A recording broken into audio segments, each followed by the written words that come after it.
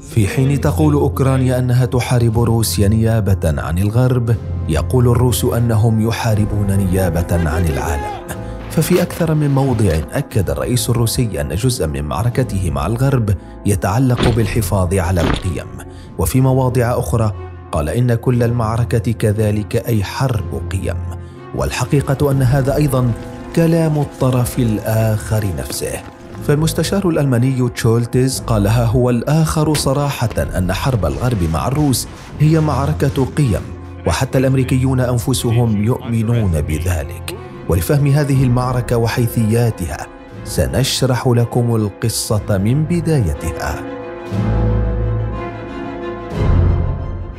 غالبا تعتبر المصالح الاقتصادية والسياسية المباشرة بمثابة البوصلة التي تقود وتوجه دفة الحروب في العالم وعلى مدار التاريخ تماما كأن تغزو بلد كبرى بلدا آخر للاستحواذ على ما فيه من خيرات ونعم كما حصل في الغزو الأوروبي لإفريقيا على سبيل المثال أو حتى بالغزو الأمريكي للعراق لكن هذه المعركة النصر فيها كان سيعتبر سرقة علنية لولا أن حربا أخرى تكون مرافقة له. وهذه الحرب الأخرى تتعلق بالهوية والثقافة والأفكار والقيم. وعادة ما يستخدم لوصفها مصطلح الغزو الثقافي الذي بات في العقود الأخيرة لا يتطلب شن الحروب العسكرية. فأدوات الحروب تطورت وظهر ما يعرف بالقوى الناعمة التي تكون الأسلحة فيها ليست كتلك التي تأتي على شكل دبابة أو صاروخ باليستي حتى أن رصاصة واحدة قد لا تطلق بهذه الحروب. وغالبا يستخدم فيها الإعلام بكافة وسائله والفن بكافة أشكاله والأدب بكافة صوره والثقافة بكل ما يعبر عنها. حيث هذه المعركة ثقافية بامتياز. تعني أن يتبنى الطرف الآخر ثقافة الطرف الأول أو ما يريده له هذا الطرف أن يتبناه. وربما يتساءل أحد ما ما العائد على الدولة التي تجعل غيرها يستورد ثقافتها؟ وما الذي ستستفيده من أمر كهذا؟ والإجابة بالتبعية. فارتباطك الثقافي بطرف آخر يعني تبعيتك له. كما حصل طوال عقود وأكثر في العلاقة بين فرنسا وأفريقيا على سبيل المثال. وبالمحصله فإن مثل هذه المعارك تكون مجدية أكثر من تلك التي تستلزم دق الطبول وتحريك الجيوش وإفراغ المخازن من الذخيرة. ولكي نختم هذا الجزء من حديثنا يكفي التذكير بأن أمريكا لم تصبح الدولة الأقوى في العالم. لأنها فقط تمتلك أقوى الجيوش أو أكبر الاقتصادات وإنما لقدرتها على تسويق ونشر نموذجها الثقافي والقيمي والذي وظفت لأجله كافة أدواتها الناعمة. لكن في كثير من الأحيان يصطدم نموذج بنموذج آخر فتصبح الحرب لازمة والحرب هنا المقصود بها العسكرية تماما كما يحصل الآن. ومن هنا ننطلق للحديث عما يجري من حرب بين روسيا والغرب. والحقيقة روسيا ليست الطرف الوحيد المضاد للغرب في هذه المعركة وهذا ما سنشرحه لك هنا. لكن من البداية شهدت سنوات القرن العشرين تنافسا محموما بين نموذجين فرض وجودهما على العالم أجمع. الأول شيوعي اشتراكي قاده الاتحاد السوفيتي نموذج يحوي رؤية سياسية واقتصادية وثقافية واجتماعية شاملة. في مقابل نموذج غربي رأسمالي وليبرالي تقوده الولايات المتحدة وهذا أيضا كان يضم نظرة شمولية تسعى أمريكا لفرضها على العالم.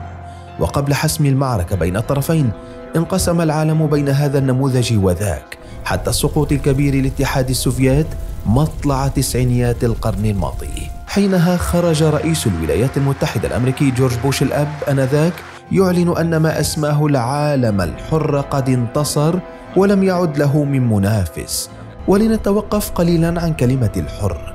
فالحرية هي القيمة التي يقوم عليها المشروع الغربي أو هكذا يدعون.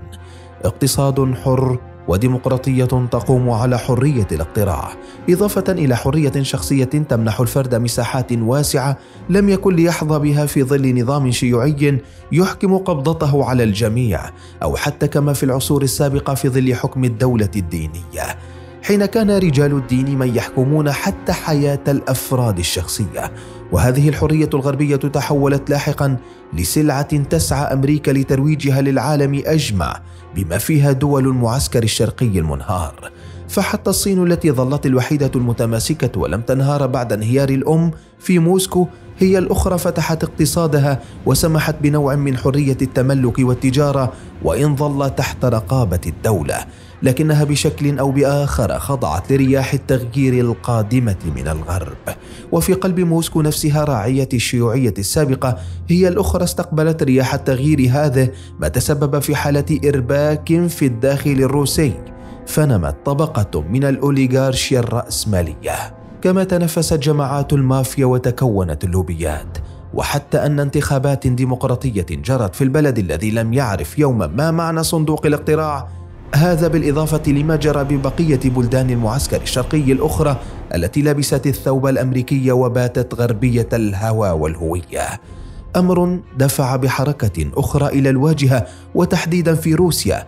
لا تنادي بعودة الشيوعية وإنما تنادي بالهوية الروسية، وهذه الهوية الجديدة جزء منها قام على فكرة الدين الذي حاربته الشيوعية لعقود، والمذهب السائد في روسيا هو الأرثوذكسي الذي لم ينجر كثيرا للتغييرات التي طرأت على كنيسة الكاثوليك في روما وظل متماسكا ومحافظا على قيم كثيرة. ويمكن القول أن تيارا محافظا نما في روسيا بات الرئيس بوتين الآن أبرز من يمثله ويقوده. ليتوسع لاحقا ليصبح هذا التيار الروسي يمثل ما يشبه التيار الأوسع في العالم والذي يرفض النموذج الغربي. وهنا أيضا سنتوقف قليلا. فالرفض للنموذج الغربي ليس فقط لأن أمريكا تسعى للهيمنة على الآخرين عبر نشره وإنما لما فيه من ضرب لقيم صمدت طويلا في مجتمعات كثيرة. ولضرب مثال يوضح ذلك. قضية المثليين مثلا التي باتت سلعة الغرب الأولى التي تسعى لترويجها. خرجت الكنيسة الكاثوليكية للاعتذار لهم العام 2016 ومؤخرا الكنيسة الإنجليزية خرجت لمباركة زواجهم بعد أن اعتذرت لهم وبعد رفض استمر لست سنوات. وهذه القضية ترفض دول عديدة في العالم تبنيها منها روسيا نفسها. كذلك دول الشرق الأوسط والعالم الإسلامي عموما وحتى دول في أفريقيا وآسيا.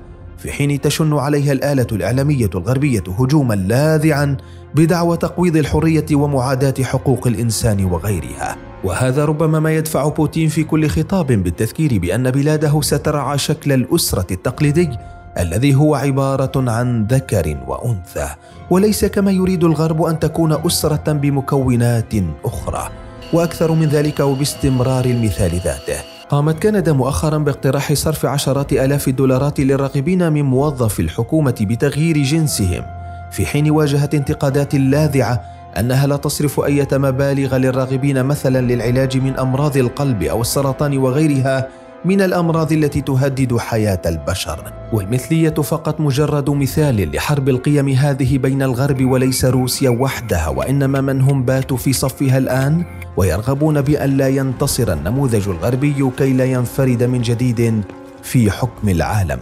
والحديث هنا عن الصين والهند التي تبدي تأييدا بات علنيا للروس. وحتى الدول العربية التي رفضت عزل موسكو أو الانخراط في عقوبات عليها وكذلك القارة السمراء التي فتحت أبوابها للروس. كل هؤلاء باتوا خلف موسكو التي يقول رئيسها أن حربه ضد الغرب هي حرب للدفاع عن القيم.